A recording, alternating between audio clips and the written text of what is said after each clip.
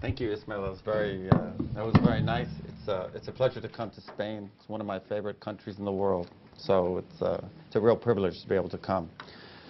So, so please feel free to ask questions of clarification or, or otherwise. I'm happy to, uh, to answer questions during the talk. So the first paper is a joint paper with Eric Hanushek, who's at Stanford University, and Greg Branch, who is a graduate student at the University of Texas at Dallas. And let me get right into it.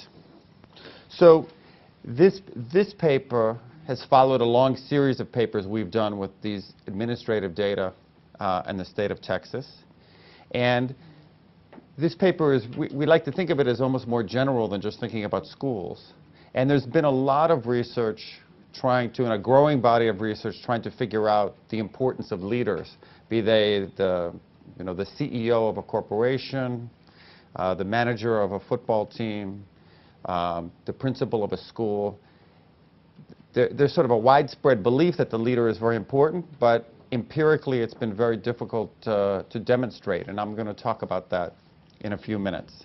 So the, the first question that we focus on is, does the quality of leadership explain a substantial share of the variation in the outcomes of an organization, be it a corporation, a school, or, or otherwise? And then specific to principals, so, so the, princ the principal is the leader of the building in the United States. The way the school districts tend to be set up is that there's a superintendent who's in charge of the district, and the district is usually made up of a number of schools. And the principal is, works for the superintendent and, and is in charge of the particular building or campus. So the second question is, does the variation in principal effectiveness differ by the share of low-income students in a school. So in the U.S., there's great concern uh, about the low achievement in many high-poverty schools. And one of, the, one of the main concerns is that these schools have, have a great deal of trouble attracting and keeping both teachers and administrators. And so one of the questions that, that we're really interested in is does the quality of the leader of the school potentially matter more in these high poverty schools? They tend to have more difficulties with, um, with student behavior because those kids aren't supported so much. Oftentimes they come from families with only a mother at home. And they also tend to have much more difficulty um, attracting and, and keeping teachers. So we, you know, we have an idea that actually the, the leader is potentially more important in a high poverty school than in a middle class school um, that has greater stability. Um, and then we try to think about some of the, the ways in which leaders will influence how well the, the, the quality of the school is. And one of them um, is through selecting teachers in order to make, this, ma make the quality of instruction higher. So, so the question of is the pattern of teacher turnover consistent with the idea that raising the quality of teachers is an important mechanism through which principals influence school quality. And then finally, we, get, we try to get at this policy question of are effective principals more likely to leave high poverty schools? And in the U.S., it depends upon the, the district has different rules about, about principal uh, jobs. In many districts, the superintendent can move principals around from one school to another. Some principals may have more seniority and more uh, control over where they're working.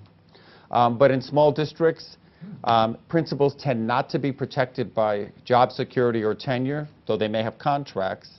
Um, and therefore, if a principal, the school is not doing a good job or the superintendent simply doesn't like the principal, oftentimes they can um, fire the principal and then hire someone else.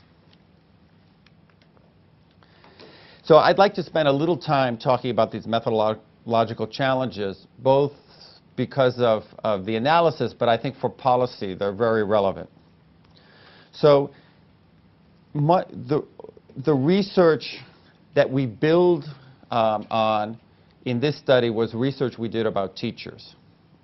And so when, when we say here it's difficult to separate the contributions of leaders from other factors, this first point that observed characteristics explain little of the variation in student performance is a point that was made about teachers. So in the U.S., um, there was a famous study in the 1960s called the Coleman Report, which was looking at what explains the differences in, in student performance across the country. It was really the first big collection of statistical data. And what they found was that the characteristics of schools, the spending per student, teacher experience, teacher education, even class size, explained very little of the differences in student performance. And that was the start of a huge literature on, on education production functions trying to trying to estimate the causal effects of various things. And what, what came of this was it was very difficult to find teacher characteristics that explained much of how well kids did. And this was a real puzzle since most people thought that teachers were really important and they differed a lot in how effective they were. So it was a real puzzle that you couldn't find descriptors or characteristics of teachers that explained a lot of those differences. And in the work that we did on, uh, with these same Texas data and the work that other people have done and are continuing to do, um, I think kind of resolved that puzzle. And that is that teachers are in fact very important and they differ a lot in how effective they are in, in their teaching of kids. But those differences aren't really captured very much by whether the teacher has a master's degree, the teacher's experience teaching after the first year or two where there does seem to be a lot of improvement, even how high teachers score on a licensing exam. Rather, you can take, say, two women teachers, 40 years old, um, both went to the same university for training, and if you randomly pick two people who look identical on these characteristics, on average, they'll be very different in terms of how effective they are as teachers. And so I think in the U.S., this has been an important development because it's changed the way people think about, about education policies. So before, the idea that if you wanted to raise the quality of teaching, you just pass regulations that, you, that teachers would have to have more education, certain type of education, you, you would pay more for experience. And that's no longer the thought. Now I think it's much more in the U.S., much more common now, to relax the rules about who can teach. So you don't have to, in many places, have this strict teacher training background. And focus much more attention on the measurement of how effective teachers are. Okay? Because it's, a, it's an understanding that you can't really say who's going to be a good teacher just by the characteristics that they have. And one of the implications of this is that one of the implications of this is that the school leader or the school principal has become a much more important person in terms of trying to get a high quality of instruction in the classroom. Because now that school leader is expected to evaluate teachers and make good decisions about providing teachers with feedback and information about how to improve their teaching, and make decisions about who to keep um, and who to, to not offer a new contract to. And in the U.S., typically, after three or four years, teachers get tenure, which is pretty strong job security. So I think this paper, we're, we're trying to think about that it's very important from a, we think from a policy point of view, the principal should be very important, and that we should find lots of variation among schools in the effectiveness of the principal, the school leader, and from a, for public policy, it's important to, to document that, and then to start to learn why it is that the school leader you know, is more effective in one school than the school leader in a different school. We don't expect to be able to identify characteristics about the school leader that's going to predict very well how, how good of a, you know, how good of a principal they're going to be. Because again, you know, you take two people who look alike, one is likely to be a much better leader than another because really being, you know, being a school leader is someone who can have serious conversations with their staff, really set, set a good environment, high expectations for the students and for the teachers, and it's a complicated job managing, uh, managing a school. So the, the other thing that's important and difficult, which is particular to um, school leaders, is that in almost all data, you don't observe what the school leader is doing. So there's literature that, that looks at people go into schools and they describe what the principal is doing, and that's very informative. But in those studies, they don't link it to outcomes in a way that you can really have confidence that a particular behavior is, is associated or the cause of higher outcomes.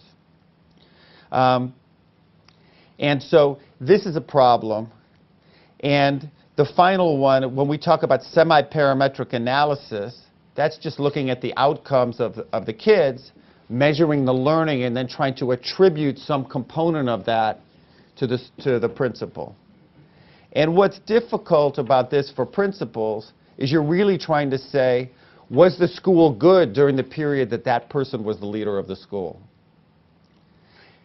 And that's hard because there's lots of other things in the school that are going on that that person had nothing to do with.